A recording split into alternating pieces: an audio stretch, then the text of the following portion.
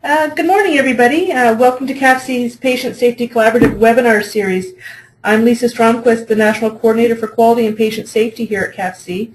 And our co-chair, Tracy Wrong, sends her regrets today, but we do have Darlene Boliver, um, our other co-chair from the IWK with us here. And I just wanted to uh, provide a quick note about CAPC's Patient Safety Collaborative. So we meet uh, on the fourth Friday of the month, and we share ideas, projects, and initiatives from across the country in this format of webinars. So we welcome any suggestions for future sessions and hope that we can showcase some of your patient safety success stories and initiatives that you have going on in your areas.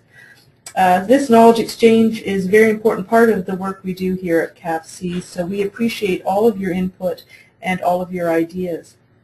And as well as these Friday sessions, CAPC also facilitates um, the CAPC Presents uh, series uh, every Wednesday at 11 a.m. Eastern Time. So just keep an eye out in your inbox for these announcements and uh, the registration information. So today I'm very excited to introduce uh, the topic and our speaker, Dr. Chris O'Connor. Uh, Chris is a critical care physician at Trillium Health Partners, and he's the founder and CEO of PatientOrderSets.com. And Chris brings his pragmatic uh, perspective and approach to healthcare innovations, and he focuses on the things that uh, are really important uh, to clinicians, uh, quality care and saving time. So today's presentation, Ready, Order, Set, Go, is going to focus on how we can improve patient safety, efficiency, and control costs through the use of checklists and uh, order sets. So I would like to pass the uh, podium over to Dr. Chris O'Connor. Okay, great. Um, thank you very much uh, for the introduction, and thank you very much for the opportunity to present today. I really appreciate it. And I also understand and appreciate how busy everybody is uh, taking time out from their day for this presentation.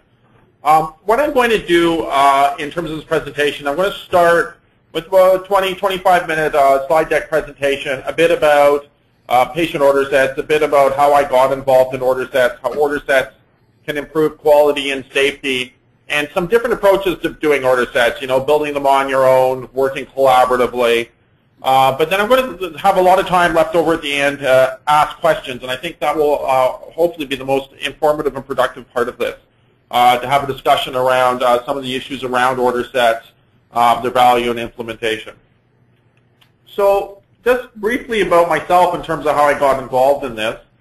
I am a practicing critical care physician. I do practice at Trillium Health Partners, which is the old Mississauga General Hospital uh, in Mississauga. Um, it's the 32-bed medical surgical ICU where, where I practice. Um, I uh, graduated from medical school back in 1989, so I actually graduated uh, in the pre-evidence-based medicine era. And I was a family physician for three years, so I got to see the outpatient ambulatory primary care side of things. And then I went back and did another six years of training in internal medicine, critical care, and I've been practicing at Trillium Health Center uh, since the year 2000. And it was my, my hope with all of this training that I would emerge from my training needing to know everything I needed to know. And I think as everybody who knows on this call, that, that's simply not the case. And, and I, by 2001, I had a real sort of concern that you know, orders drive the care of a lot of critical aspects of patient care delivery, all the medications, IV fluids, diet, activity, vitals, drugs, and I had to write them down by hand from scratch every single time. And I was very worried that I would forget something, and it was just a huge amount of work. So I started working on order sets in 2001 at Trillium, built up an order set project there, and had a fair bit of success with it. But it was a huge amount of work, and it frustrated me enormously that I was working completely by myself, that I wasn't learning from other people, and it made no sense for in our publicly funded healthcare system for everybody to work by themselves. So I founded Patient Order Sets in 2006 with a really with a collaborative vision of connecting the different professions, connecting the different key stakeholders in the system, such as professional societies and organizations like CAPC, uh, connecting clinicians and healthcare organizations. And since the initial start of this, it's been really gratifying to see that this collaborative approach actually does work, uh, that there is real benefit in it, and we're now up over 300 healthcare organizations across the country, from Vancouver Island in the west all the way out to Newfoundland in the east and Nunavut in the north. And we really have organizations joining at all scales of the system. So we have entire provinces, such as Saskatchewan, Newfoundland, Prince Edward Island. We have all kinds of regions or LHINs or local health integration networks that join. And then we have also individual hospitals. And the hospitals range from the tiny, we have 10-bed rural hospitals that join, to major academic medical centers such as Hamilton Health Sciences, which has well over 1,000 beds uh, joining the network. So it's been really exciting to see all these different uh, healthcare organizations come and join.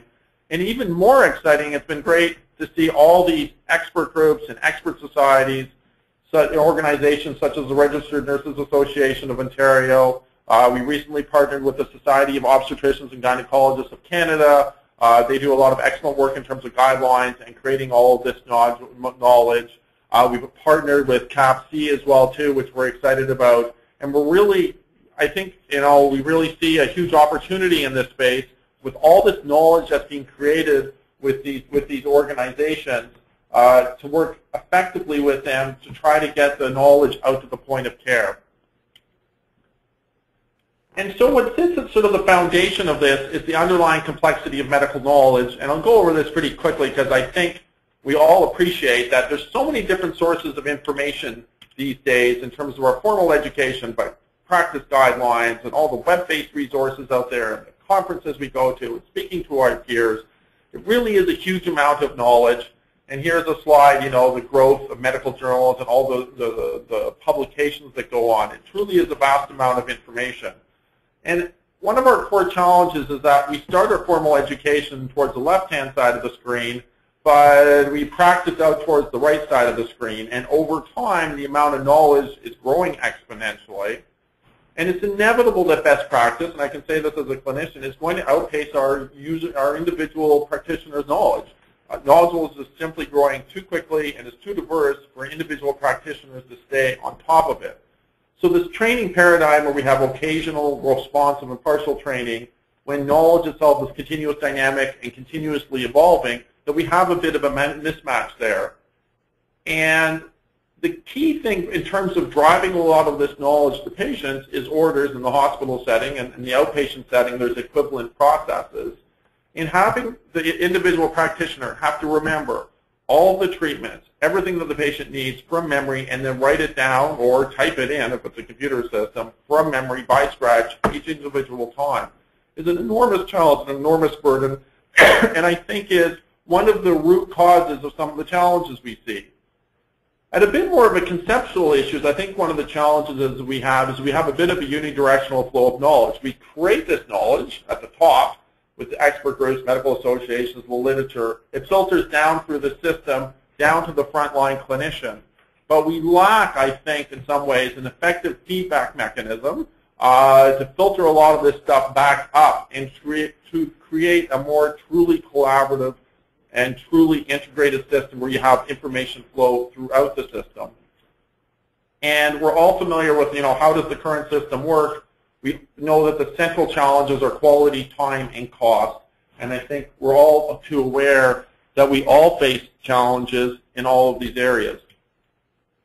And we know also the issues in terms of patient safety. I think everybody's deeply familiar with uh, preventable uh, medical error uh, leading to significant amounts of morbidity and mortality.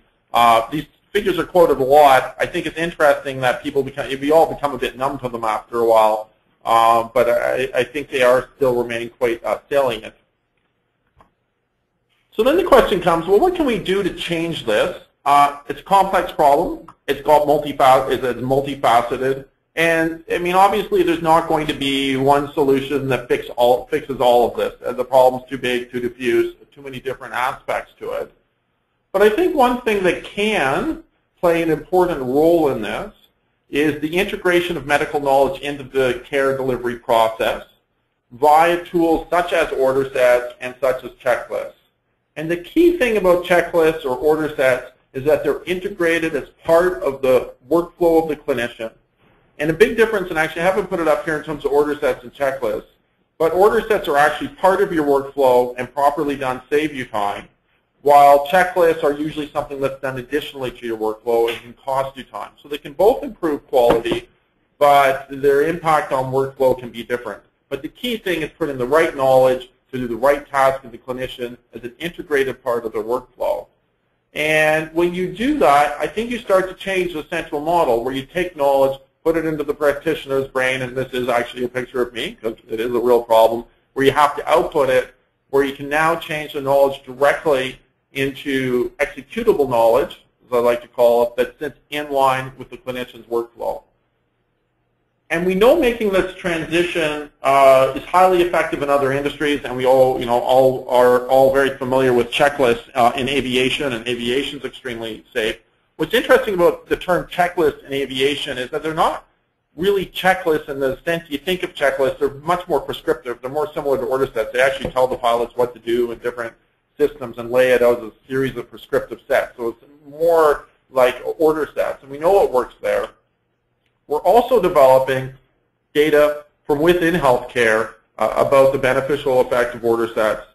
The medical literature in this area, I think, you know, is reasonably characterized as relatively early. But that being said, the, the, the studies are are all overwhelmingly positive and show huge treatment effects. Um, we have data from within patient order sets, for example, about using uh, evidence-based checklists for the admission, and this is on the adult side uh, of uh, things, for using order sets for the admission of common bread and butter adult problems like COPD, CHF, stroke. And what we found was the use of an admission order set reduced the length of stay for those patients from 5.9 to 4.7 days. So a, a, very dramatic, very significant effect. And what was neat about this um, was that this effect, as we followed it through the study period, actually increased over, over time. So if order sets make sense for the care of patients, and I think they make both intuitive sense. I mean, I like to talk about like the Tim Hortons lineup effect, but if you went down to the lineup at Tim Hortons and said, you know, what do you think is going to be safer to take care of the patients? Would you prefer I scribbled it all down by hand, by memory, or typed it in and hope to a computer and hope I remember it all? Or should I use an evidence-based checklist that, you know, drives the workflow? I think most people would say there's an intrinsic intuitive appeal to using order sets. And if now there is, you know, an increasing body of literature to support that they are effective, then it starts to raise the question, well, uh, what's the most effective way to develop, deploy, implement, and measure the use of order sets? And I think everybody on this call has some familiarity with order sets. Every hospital uses them. They are about. I, think the question is changing a bit from are order sets of any value, but rather how to implement them uh, most effectively. So the traditional approach for order set development and implementation has been kind of a do-it-yourself approach. Every hospital works by itself, or largely by itself, building and developing all of the order set content they need and trying to keep it up to date, and then also building and deploying the software tools that they need, the project methodology that they need, and then the analytical tools that they uh, need uh, to measure the impact of order sets on practice and to kind of do it on their own. And that's certainly what I started off doing at Trillium Health Center. I was building everything on my own. So then the question is, well, what does this look like? How effective is this?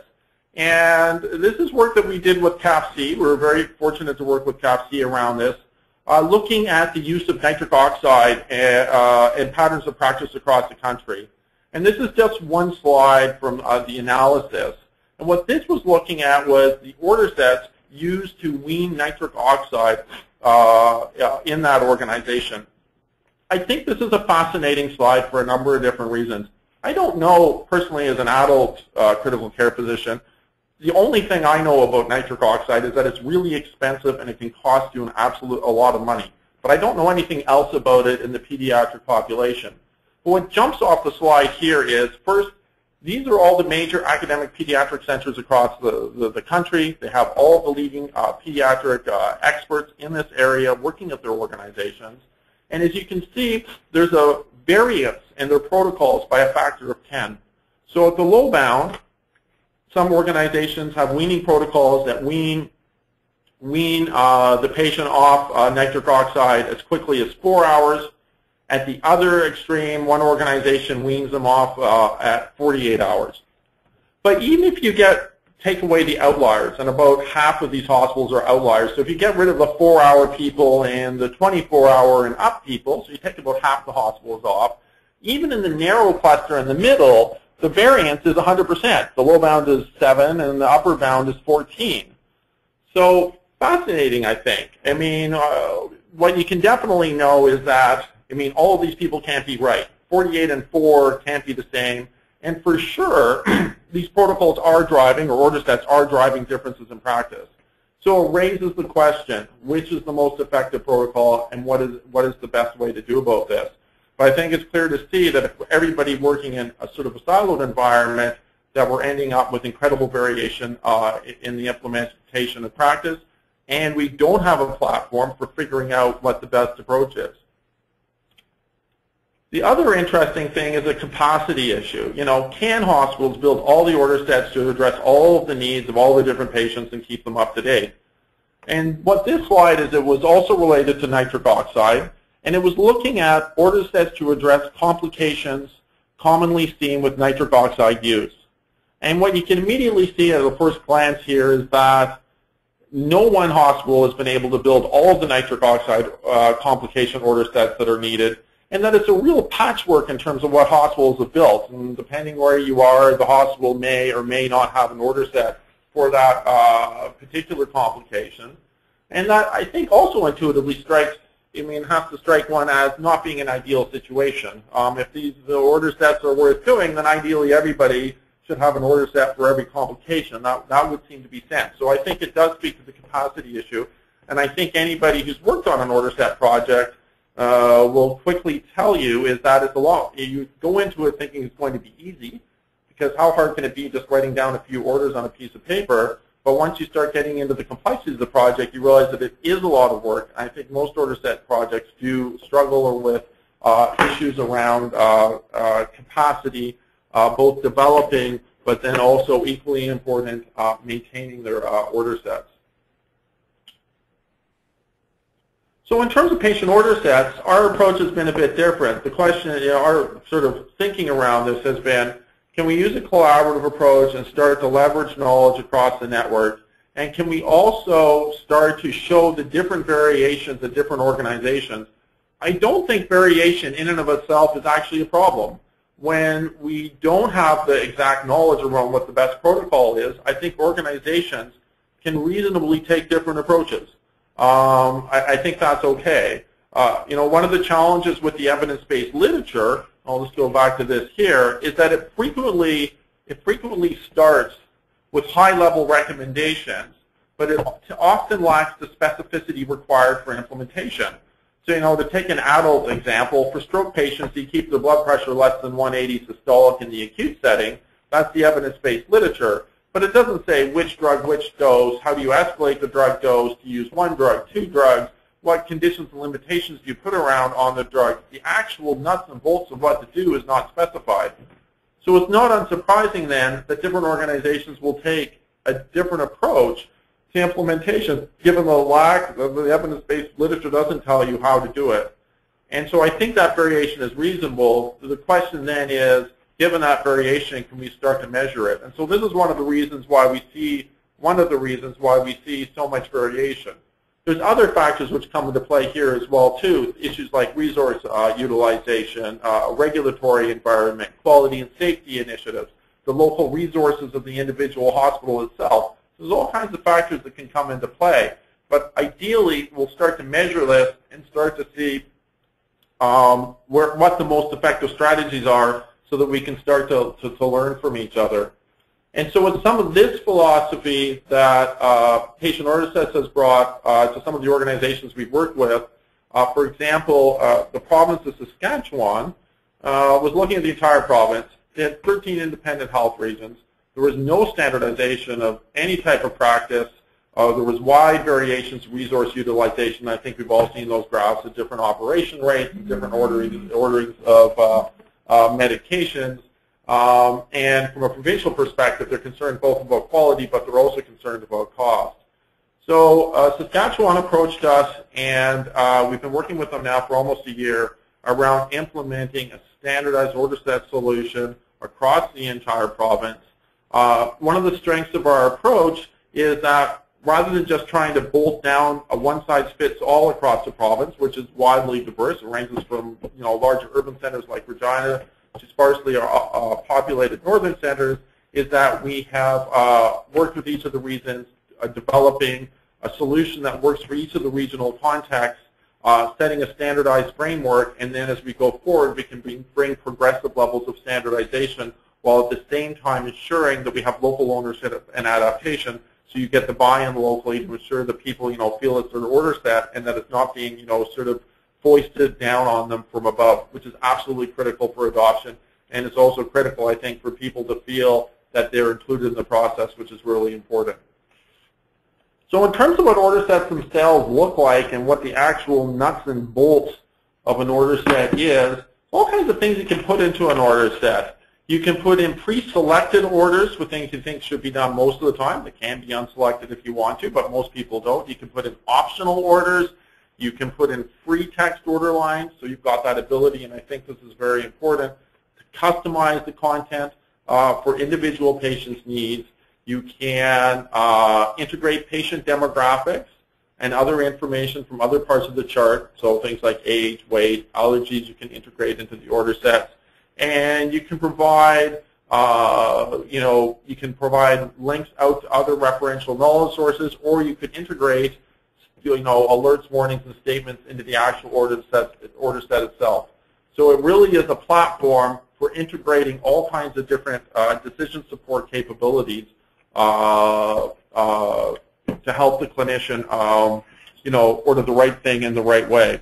And one of the things I'll just say quickly that I love about order sets a lot is that I think it gets the right balance between completely free text and all the challenges that we have there. And on the other bookend of things, all too often people try to perfectly script a solution that completely bounds it and you know has branching logic and it's all comprised of if, if them statements. The problems with that is it lacks the flexibility to accommodate all the variation we see in clinical practice. So I think the ideal tool, which I think order sets are well suited to do, is sit somewhere in the middle and then try to get that balance right between free text and uh, accommodating individual variation while at the same time providing a standardized framework that actually works with the clinician's decision making. I'll also speak just quickly about the impact on medical education. I think these are excellent education tools. There's an emerging and early literature showing that, and it is early, but it is showing the effect that order sets have a positive impact on learners, uh, that this is an educational resource for them, and uh, does not impair their ability to learn, and actually quite the contrary, it actually helps them learn better. Another neat thing about order sets, when they're properly constructed, is that they're innately a data gathering tool. If you build them properly, you organize, you standardize at all levels of the order set content, from the word level down to individual order items, which are grouped into functional units called modules. You sequence the modules, you put them in a document, and then you relate documents to other documents. So in a sense, it immediately codes what the orders are doing, in which context, in which phase of care, and that's done automatically. And so this data, if properly built, can then map out to customized, clinically intelligent dashboards so that you know what's actually going on in your organization. And further, you can have data, data analytics, which show overall utilization. You can show which clinicians are ordering the order sets, and you can map out to a whole number of different quality metrics. And you can track things like quality-based funding, adherence to accreditation standards, adherence to other quality initiatives. And if you're a case costing hospital, you also have the potential to link these order items. If you know what things cost, you can also link it to cost items. You can also track through your organization information flow and how uh, both uh, patients and uh, best practices migrate through your organization because order sets set up transitions of care, they set up best practices, and they set up the patient journey uh, through the hospital as well too. So it creates a foundation um, for building and measuring those, those uh, aspects of the patient's care journey as well too. So the final slide, just quickly, I think order sets are great. One of the very few things as a clinician that if properly done will both save you time and improve quality. And I think one of the challenges that all clinical, all clinicians have is that you're constantly asked to do a better job. All too often, people tap you on the shoulder and say, I want you to do this quality initiative or that quality initiative, you know, and, you know, to do that, you're going to have to do extra work. You're going to have to do extra documentation or these extra processes. And that's all well and good, but everybody's busy and nobody has time, and this extra work certainly becomes burdensome. So the nice thing about order sets is that really the pitch to your clinicians is use this, save time, and at the same time you will actually improve quality and safety, and you'll provide all these secondary benefits in terms of data and cost re re reduction as well too. So that's a really nice uh, value proposition, I think. And it's always good, and I'll say this as a frontline physician uh, who was, was just in the ICU last week, I think it's always nice to have tools that um, uh, both make your life easier and solve a myriad of sort of the practical problems that you encounter every day as you take care of your patients. So that's a quick overview of uh, sort of uh, both patient order sets and the role that order sets I think can have in quality and safety. I think what we'll do now um, is just open it up to questions and uh, see what people have to say. Uh, thanks very much, Chris. Um, I just want to remind everybody, uh, just uh, type any of your questions or comments into the question box uh, in your control panel. Um, on the right-hand side. I don't know, Darlene, did you have any uh, any thoughts on any of this information that we just received? Um, I, I, thank you both to, uh, to both of the panelists for bringing this information to us. And I had the opportunity, uh, Chris, to meet you and to view this many years ago. So it's wonderful to see how far it's progressed and to see the uptake in it. Um, I, I, guess uh, I'll throw it over to the audience, but I guess one question I have is, um, given that we're primarily, well, we are all uh, a pediatric collaborative, and I know that the, the pediatric order sets ha have grown, do you have any specific plans of, of how to grow subsets uh, we're most interested, obviously, in the uh, pediatric world, to, to grow those subsets and make it uh, even more robust than it is for the pediatric uh, populations? Well, absolutely. So it's a, it's a great question. Um, uh, first, on a couple of fronts, in terms of we have a reference library that we built collaboratively with subject matter experts. We have an extensive pediatric library of content content. We have an extensive neonatal library of content that we've built up. I think in total it's close to 100 order sets that sort of cover most of the common things.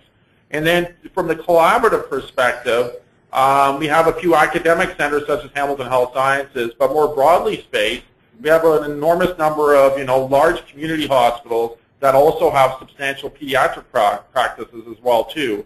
So we have, uh, in terms of the collaborative network, those organizations have posted their order sets to our collaborative network, and so for the first time we can start to see some of the tools that are being used commonly to care for patients across Canada. So we have that collaborative uh, uh, piece as well too. And I think going forward, I think pediatrics is an area that we have enormous enthusiasm for, and we see just continuing to build out our pediatric library, continuing to grow our network. You know, the partnership with CAPC is, is enormously exciting, and I think we're just at the start of uh, building the library out, building better order sets, connecting them more effectively to the guidelines and the knowledge that have been built, and then critically trying to close that gap, saying, well, how are the guidelines being implemented in best practice, and what approaches do work, and can we start to use that to inform, you know, how we do this and potentially uh, make it more effective over time? Excellent. That's, that's really exciting work that the, collab, that the CAPC Collaborative um, could certainly benefit from, and I look forward to um, seeing more of it in the future. Lisa, are there any uh, questions from the audience? No, uh, everybody's pretty quiet today. I'm not. Uh, I'm not sure. Uh, I, am just wondering if anybody in the audience, if um, if you have um, experience in your own organizations, uh, do you have a, a team there or a, a group there that um, is able to focus time on developing uh, uh, order sets in-house, or do you work uh, collaboratively with you know other uh, other organizations in your area? I know that sometimes, um, say in Toronto, maybe Mount Sinai and um, um, SickKids will work on neonatal things together or something like that, um, just because they work so closely.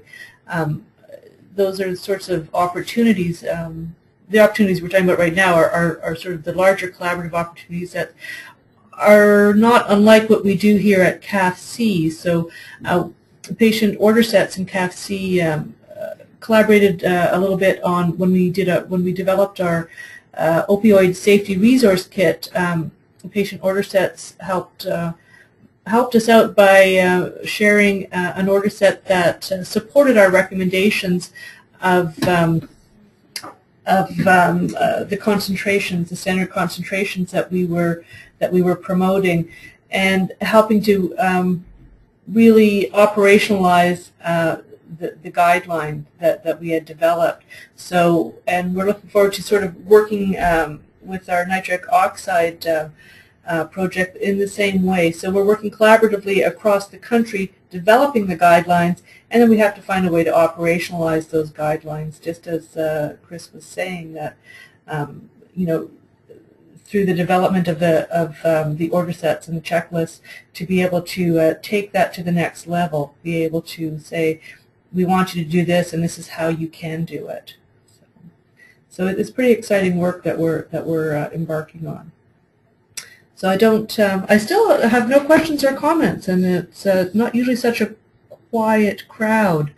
So um, is, um, is anyone in the audience actually using order sets now that um, you, you, know they can either talk about um, how it's helped standardize, how it's helped you use their resources more wisely rather than um, everybody creating their own, or um, you know any future plans for how they are going to develop order sets and, and contribute to. I can dating back to 2009 when we all experienced H1N1, I know that in a matter of days, really, um, the order sets for management of H1N1 was up and ready um, and included a pediatric component. So um, that was certainly a, a quick res and responsive way for the country to not uh, duplicate and replicate the wheel over and over again. So anybody out there that would like to contribute?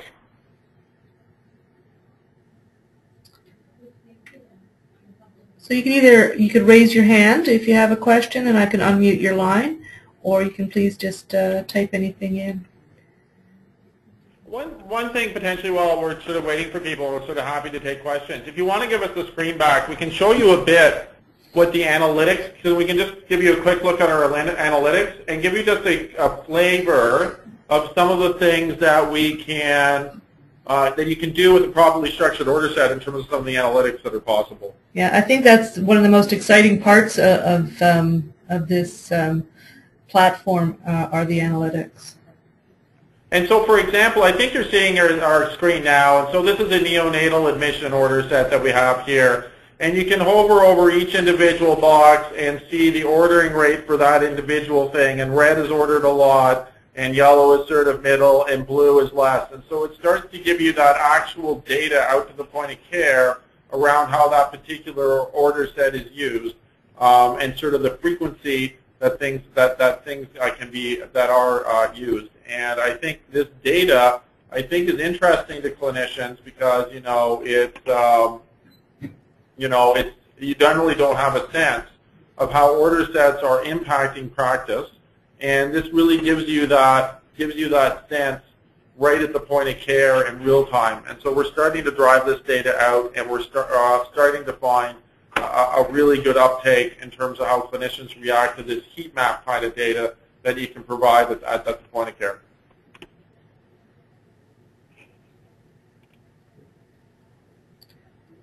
So again, I'm just wondering if anybody um, anybody out there um, if they have order sets that are you know built into their systems already, or if it's you know all sort of paper based, or if um, you know if it's linked to anything else like this um, like this um, um, set is shown, it's it's linked right into their entry point uh, uh, uh, data collection. So it makes it um, you sort of killing two birds with one stone here, or many birds. So you're getting the work done more efficiently, but then you're also tracking what you're doing and able to use that data to improve practice. So I think it's it's. Uh, yeah, and I guess I'd further like to say on the guideline, like we create excellent knowledge in terms of the guidelines, but how that you can then map the guideline to the specific order item, and then you can map the frequency with which the order item is being linked, and then you can link that knowledge, I think, back to guideline creation because then you can see for the first time how is the guideline knowledge being implemented and how it's directly improving practice. And again, I think that's going to be useful for further and more effective guideline creation. So the, the goal is really to provide better local engagement into the order set itself, but then I think potentially provide a pool of knowledge as this grows and develops over time um, to uh, provide that knowledge uh, for further guideline development. And I think that's a new capacity that I think will be that, that will be pretty exciting as, the, as the body of knowledge here grows bigger. And um, can you uh, sort of customize these to uh, fit onto different platforms in different um, different organizations are going to have sort of a different um, system already in place. And how would you embed this sort of system into is, is it is it something that you do or do, do people have to uh, or organizations have to restructure everything that they're doing? So it's a good question. So it's a very good question, and it, you know what I can say is that over at over 300 hospitals across the country, uh, we've seen everything, and everything exists. And you can imagine this huge heterogeneity around where hospitals and healthcare organizations are on their IT develop, roadmap. And we range from organizations that are purely paper-based, and we can work with them we encounter a lot of organizations that are at a sort of an intermediate path. They've got some computerization, they've got some paper, and I'd say that's typical for Canada. And we can deploy things like entry point to complete the order sets online and do it that way. Or for organizations that have gone, gone to full CPOE, uh, we can have a discussion around that in terms of the analytics and around the content as well too, and around the structuring of the order sets. So it really depends uh, sort of where you are in your journey. But from our perspective, it doesn't matter. We can work with organizations regardless of where they are. But certain principles stay the same regardless of the IT environment, whether it's paper or CPOE. You need evidence-based, up-to-date content. You need content that reflects key quality and safety initiatives. You know, with health system funding reform and quality-based procedures, you're going to need content that directly maps the quality-based funding uh, procedure list if you want to get paid, and that's a big deal. You need content that supports ISMP and other regulatory things, and so you, the content's absolutely critical. And then you need to structure it in a way that supports your user's workflow, so it's intuitive and easy to use and supports how clinicians think.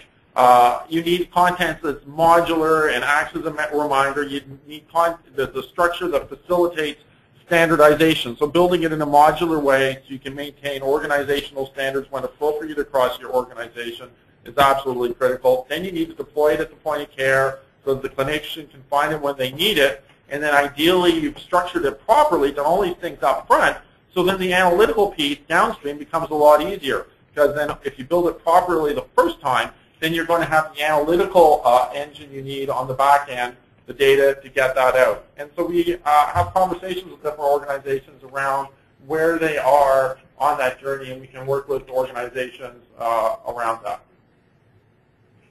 And this is just a heat map here of another order, set. Um, uh, one of the things that we can do is we can drill down on any individual field and bring up the ordering practices of each individual physician at the point of care regarding that particular uh, best practice.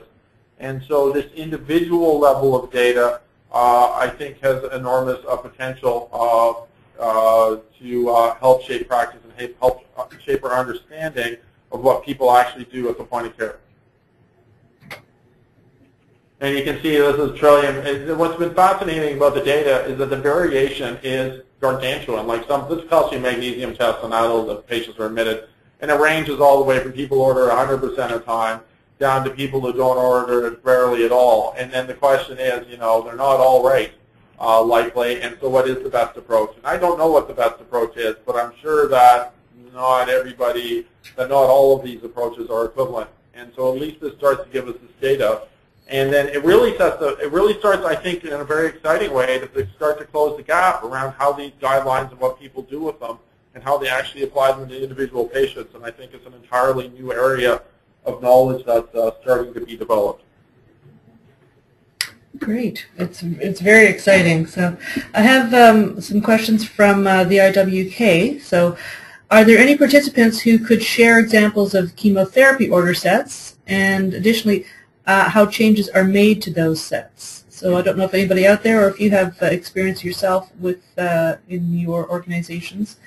Um, I could actually um, I can unmute uh, Marilyn et al., who are in uh, who are in IWK. It's actually Carolyn's question. Okay. Okay. Carolyn, do you want to get close to the mic? Sure. I'm, uh, Yeah, I'm just, I'm an improvement consultant and I support the uh, oncology service here.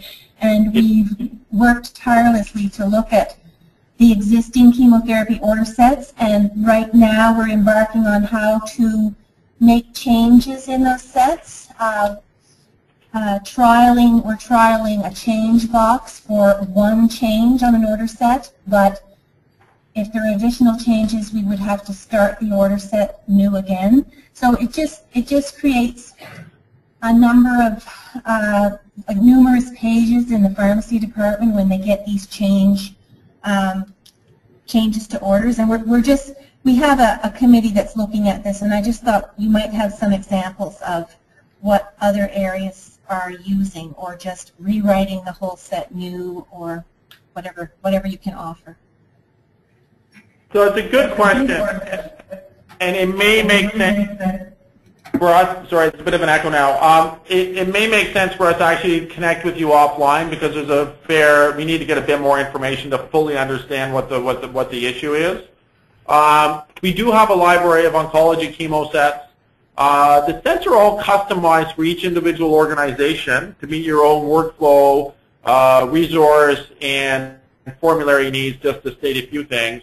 We usually work closely with organizations around their order set projects to deal with all these, precisely, it's all these practical issues, and I got some of the documents in terms of your order set governance and life cycle, and some of the key things in terms of your template and order set development toolkit, and all the different parts and things you need to make your order set project go.